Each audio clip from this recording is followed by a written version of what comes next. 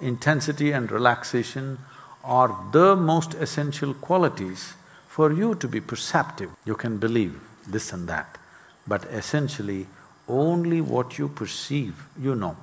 Something happened, something did not happen in your life, that's not trouble. When you don't know what's happening within you, you are in real trouble. Lifetimes of trouble, believe me.